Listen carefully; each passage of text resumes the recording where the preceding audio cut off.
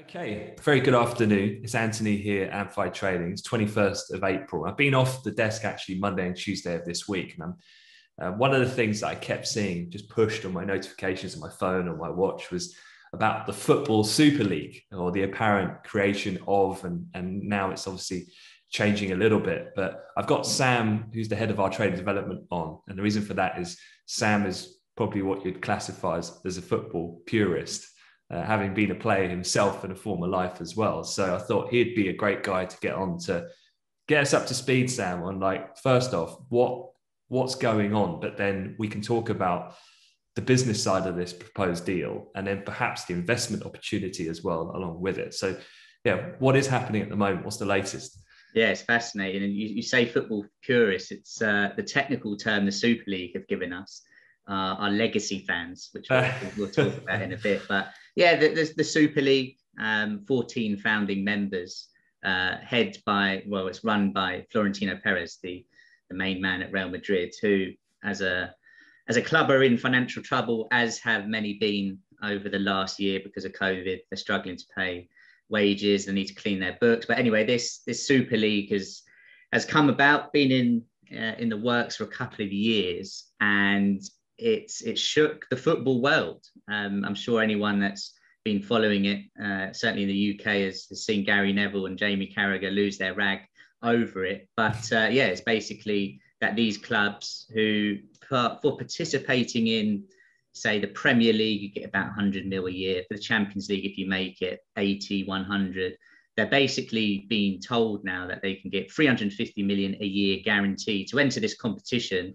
where they cannot get re- re- relegated. So these are seen as the the sort of the super league teams. So you've got Barca, Real Madrid, Atletico Madrid, six from England, Manchester United, Arsenal, Liverpool, Tottenham, Chelsea, Manchester City, uh, Juventus, Inter, AC Milan, some of the teams that are in it. Um, and they've been, you know, told they can guarantee to get in this no relegation, uh, and there'll be five extra teams that could have got in qualified each year but it shook the football world. UEFA, FA have come out and said, well, they're going to uh, expel the teams from their competitions. The fans have had a massive backlash. It's uh, you know the the UK fans, the go the ones that go to the game have have have lost it. They've turned up at stadiums in their plenties and uh, yeah, really tried to force some of these owners to to backtrack. And last night we saw many of those teams do exactly that.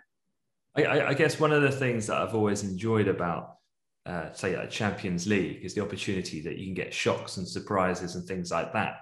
But I guess from a financial business point of view, is that if where you finish in your domestic league or an international tournament, let's say, or uh, UEFA tournament, then how do you financially plan for the future when you don't even know if you lose first round to Monaco? in your yeah. your Man United. It's a bit of a problem there because now you've got a deficient shortfall of what in excess of tens of millions of pounds for the forward-looking season. Absolutely, so, and chuck a pandemic on that. Right. You know, where no fans are going into the stadium. Uh, a lot of these clubs make money on match days for sure.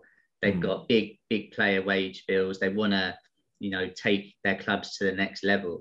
And if they, you know, they can't guarantee success, no one can this potentially was a way to at least guarantee the money, which football has proven those who spend the most money mm. generally do the best. Okay, and who, who's financially backing this? I've heard JP Morgan mentioned. So are they yeah. the architect behind this? JP Morgan, yeah, I think they're putting uh, five billion into it. Um, the now, well, he's retired. He's resigning at the end of the season. Ed Woodward, Manchester United's chairman, he um, was a former JP Morgan employee. So he's kind of been forced out. There's rumours he was already stepping down at the end of the season. Um, I'm sure more will come to light on that. But yeah, JP Morgan uh, have crunched the numbers. They pr- proposed this along with Florentino Perez to these clubs who, um, yeah, they've all obviously come out, certainly in the UK, and they said they don't want a part of it anymore. And they've all sort of said the same thing. They didn't want to get left behind, was their reason for uh, you know, accepting the invite. Um, but reputations may be ruined short term, potentially mm. for these clubs. I mean, Manchester United share price on the announcement was up 10%. We reversed that whole move now. uh, following last night. On uh, right, but I guess, I guess I think you said this before but the the seed is planted now, and so is this not inevitable? Because you've just mentioned Man United's share price. So Man United, Juventus, other teams, these are listed companies that are run, you know, even for me, not as a football fan, I know that a lot of them are run at the top on a board level by financial people, businessmen. And so the priority of the loyal legacy fan hmm. is probably not at the forefront. And so there's a couple things here. I just put together a couple of numbers and I was trying to find some market research, you know, being an analyst to kind of like, okay, how do you validate this type of decision making about a Super League proposal? So a couple of things to get your thoughts on. Now, what this is a bit old. It was 2017. So you have to imagine these numbers have gone up. Yeah. Right. So they probably increased. But the Premier League, I don't think this comes as a surprise on a global international level, by far is the most followed football league when it comes to China. Yeah. Right. So um, I've got a stat here 56% of all Chinese fans follow a Premier League team. The second one is the Bundesliga, which is 34%. So it's mm-hmm. definitely a Premiership story here. Man United's viewership is 42%, significantly outperforms then AC Milan and uh, Bayern Munich, which were down at around 33%. Most popular player, I don't think it goes without much difficulty, Cristiano Ronaldo is still yeah, the most popular player. Now, interestingly, then, um, culturally, what this survey I was reading found, and, and I can attest to this as well, having seen it, having family in China and friends Chinese and so on.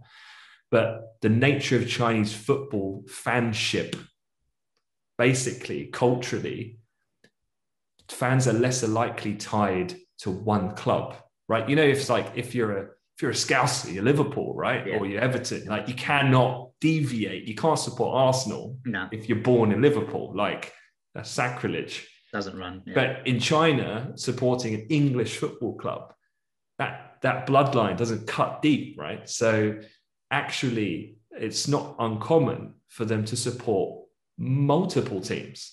So now instead of saying your fan base is X now you've potentially got four times your fan base, let's say, because they can support four different teams. So then you get a lift automatically there anyway. But then you start talking about merchandise and products. And I was trying to find some facts about what's the proportionate revenue uplift that a lot of these, these, these you know, you said match day ticket sales, but then merchandise side. And obviously that's a massive thing. And, and 88% of the most avid fans in China bought merchandise. So nearly 100% of them when committed by yeah. times four teams. And there's a much higher uptick as well, given as well the technological difference about things like um, Ant Group and all the, the, the different um, devices and technology with new finance that they have in China. So without the legacy like Barclays, NatWest, you can do everything on your phone, right? So you go on to um, just the latest phone software. You can do your private banking, your stock trading, everything. And actually, the numbers way higher where Chinese fans purchase sponsor products. So not just team products, but there's also an uplift to the sponsors who are also then willing to put upfront money because they get a better click through down to purchase their goods and services. Real Madrid, uh, this is back in 2017, signed a deal with Alibaba, obviously one of the most infamous of this, and that took their potential reach in 2017 to 600 million customers, wow. potentially, right? And we're talking about what UK population, bring it back down to the population of Liverpool, to, to, to yeah. the actual fans going down, or Manchester, right? The, the numbers are pretty compelling. And actually, I was looking at Man United is by far the most biggest team their fan base, again, slightly dated figures, but it's, it's said to be around 1.1 billion. Incredible number. Right, 1.1 billion. Um, the largest increase of that fellowship, the Asia Pac region, yeah. Yeah. right? And you've got a new emergence of uh, a middle class, people who, ha- who are becoming more affluent, who have disposable income in countries like China, which is only going one way at this point in time to me, it seems business sense to be having this conversation at this point in time. And as much as I'm absolutely going to really annoy football fans, whoever watches this, I can feel the dislikes coming. I can't see how you can justify, from a business point of view, putting fans first when the the prospect of increasing your revenues is so high. And then we we haven't even talked about the players. So how much how much does Ronaldo get paid at the well, moment? Well, they, they how accurate this is, you, you don't know. I think some things are still a little secret, but the, the main reports are suggesting he's on nine hundred thousand pounds a week playing for Juventus. He's definitely him and Messi are, are number one and two, but thirty-one okay. million euros a year. Okay, you got to think that. I mean, what was it you saying they, they're going to put in the kit kitty already? 350 upfront million. Guaranteed. Plus now you've got the sponsorship, which you're reaching a targeted open marketplace that's like 100 times larger than your existing. Plus now you've not even cut, begun to have discussions with online streaming and social yeah. media, which is where the main consumption of Chinese football watching comes from. Yeah. Right? So yeah, you throw in Netflix throwing around their multi-billion new let's enter the yeah. sports let's let's enter the sports streaming market. Amazon's already in that space with Prime. Yeah. Right. You got to think Ronaldo. Then, if you turn around to Ronaldo and say, "Right, do you play football for the fans?" He said, "I play football for the fans."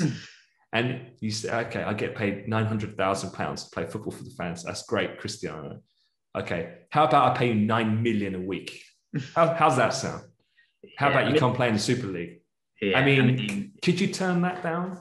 I don't think you could. I don't think. I mean, the the the argument is, you know, do they need any more money? Look, football is a short career, and you know, you mentioned earlier that the dislikes are coming. They might not be, and I'd be interested. We get quite a, a wide ranging audience in the chat guys let us know what you think about the super league because it seems certainly in this country in the uk the fans are fuming football's been taken away from them that that dream of your club battling it through to the very top and competing against the top sides is gone potentially. Even though there was five teams that could qualify, it's gone.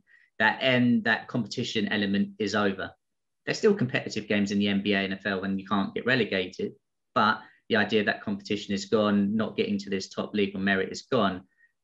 But that's the UK. That's the people that go to, you know, the the 92 clubs that are in in this country business sense, you're right. It the numbers are incredible. The reach that they want to to get to, certainly in the Asia Pac region, is is where to go. Are amazing. The numbers for these clubs and these owners are insane. American owners, United, Liverpool, Arsenal, they are after one thing and one thing only by running these companies, and that's to make money as a business. They don't care about winning the trophies, really. Um, mm. So yeah, could a player turn it down? Well, you've seen so many players go to China in a less, a way less competitive league right? Yeah, yeah. Way True. competitive. And people going there in the prime of their career. If you look at Oscar um, mm. Carrasco, who's now back at Atletico Madrid, they've gone in their prime. So mm. to say it's now the most competitive league in terms of players and the most money, who's turning that down? I don't know. Yeah. And, uh, and uh, okay, so let's pivot this to then the investment opportunity because some of these come, some of these football clubs are listed. We've seen you mentioned at the beginning stock price fluctuation. As we know that a lot of stock price comes in the market opportunity. So we don't need to even wait for this leak to happen. It could be that just the overall investment opportunity, that the fact that this is going to happen or could happen, could be enough. So, from what we've just discussed, is Man U just the clearest, like clearest play on this for like yeah. a long term yeah, absolutely. I mean, I, I can share my chart if you want, or should we delete? if you want to leave it as this, it's it's, it's fine. But um, I'll let you share. Let me give you. Um, there you go. Let me uh, let me bring that in then, because you've got to bear in mind when looking at this chart, there's still there's been a bit of um, post mark that you can see here. But I mean, it's pretty much trading where it finished last night. It's down maybe maximum a percent at the moment. So here is is Sunday is 10% higher on, on the news and the unwind of things have, have, brought us back to where we are. So you've seen the possibility of, of what happened. And if we look at Manchester United on the longer time frames here, weekly time frames, so the high going back to 2018. So they're off their high for one, which is always quite an interesting uh, way to look at things because they've got to get back to there at some point over time. Stocks go up, Man United. Right, and you, you also said that, yeah, you also said Man U at this point in time is, you know, they're, they're not like the Alex Ferguson heyday, but no, they're not it, performing well at the moment, which they're going to get back to their football. Like you, we, we said earlier, it's cyclical. They're top three clubs in the world, top club in England, most, you know, highest following numbers, like you said in China, are crazy it's it for me it's a, it's an opportunity in the coming weeks uh, especially on any downside to get long this market. I mean you can see historically where we we traded last year multi-year low. In the pandemic like with many stocks it was an opportunity to or a generation to buy. But if we can you know get back a tiny bit lower for me it's, it's an opportunity to drive it to the all-time high and more. The the premier league as well on, on this point you know, just as we we come back to, to the main screen, the Premier League, there's rumours that they offered these Super League, Premier League teams money to actually come back. They know the value of Manchester United and Chelsea and Arsenal and all these clubs. That is how the Premier League is what it is because of these clubs and the reach that they get. They need the Premier League teams back in, eh, the, the Super League team. So the way football is going, the with the numbers uh, that could potentially be there. It seems inevitable. And for me, Man United is a buy. It is something that's going to smash through that all time high over the coming years, maybe not months now, but you've had a little taste just from that 10% push higher of, of this just for you know the short term. And if they get good again and they get these type of players that the money will drive and the, the wages they'll be able to offer and their competitiveness in the transfer market again. And then when they start winning the trophies and the titles, it's only going one way for me. Yeah. Short term may be different, but long yeah, it's kind of it's kind of like a, I mean, I'm a I'm a more of a basketball fan, but if you had if you had like teams that were like all star teams, I mean, to bring in, you know, you, we're talking about a definable audience of fans, but if you had say top players like world class household names, that would bring in other sports fans. Yeah, absolutely. I mean, talked I, about I, the broader market. We're almost opposite. transferables. Right, you're a basketball fan. I'm a football fan, but I appreciate uh, basketball like you do football. I don't support a team in basketball. I support players. So if Steph right. Curry goes to the Lakers, I'm looking out for the Lakers as a result. Exactly, I look out yeah. for LeBron James. Now Brooklyn Nets have got the Globetrotters. I'm looking out for them because you know they're exciting players. They've got big followings, and you know why do I follow a team? I, you know, if anyone, it's New York Knicks. They're terrible. I'm looking elsewhere, and uh, that's mm. absolutely what could happen here in football. I think it, it's the reaction that the fans have done is is amazing. By the way, to to get this pulled back, but it seems like it's a bump in the inevitable road, especially if the Premier League rumours that they paid these clubs to come back is, is true as well. You know, there there's there's also a rumor, by the way, of the new Champions League reform was also going to help these top teams through a coefficient that they're going to qualify anyway as well. So, you know, look, opportunity wise, United, it's a buy for me. Cool. Really How much does that pain you as a loyal Arsenal fan to say that? Well, you know what? It, it's uh, it's like when I bet if I bet on Chelsea to win and they lose, it's a win-win. So if I go long Manchester United and it, it fails, you know that's uh, usually that's going to be because their their business is is running poorly as well as their results. So I, I can get over that. Cool. All right, we'll end it there. Thanks for thanks for that, Sam. Cheers. Pleasure to be on. Yeah, and and look, let, let us know your your comments. Um, good, bad, and the ugly. We're, we're happy to engage in the comments section. Bring it on. I'm really intrigued to see what everyone thinks. Absolutely. Yeah. Thanks, guys. Take care.